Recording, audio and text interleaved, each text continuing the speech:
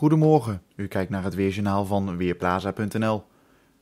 Het is momenteel flink bewolkt boven Nederland en er trekken ook een aantal pittige buien over, waarbij lokaal ook kans is op onweer. Maar op de Noordzee daar liggen wat opklaringen klaar en die gaan we vooral vanmiddag zien. In de ochtend dus een aantal buien, lokaal met onweer en een korte tijd kan ook veel neerslag vallen. En vooral aan zee waait het stevig met een krachtige of soms eventjes harde wind. En ook vanmiddag is er een enkele bui mogelijk. De kans op onweer neemt wel af. Maar de wind die blijft flink doorstaan en met een temperatuur van 19 tot 21 graden is het eigenlijk vandaag ronduit herfstachtig. Vanavond klaart het dan wat verder op, maar er blijft nog altijd een enkele bui mogelijk. Het koelt nauwelijks af met temperatuur rond 17 graden.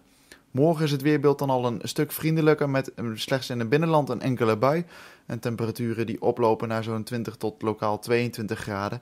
De westenwind die neemt wel een kracht af. Maar vanaf dinsdag dan gaan we lekker nazomeren.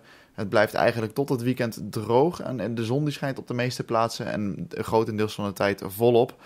Vanaf dinsdag in het zuiden lokaal zomerse temperaturen, maar vanaf woensdag en donderdag dan lopen de temperaturen op veel meer plaatsen op naar zomerse waarden van meer dan 25 graden. Mijn naam is Wilfred Jansen van Weerplaza.nl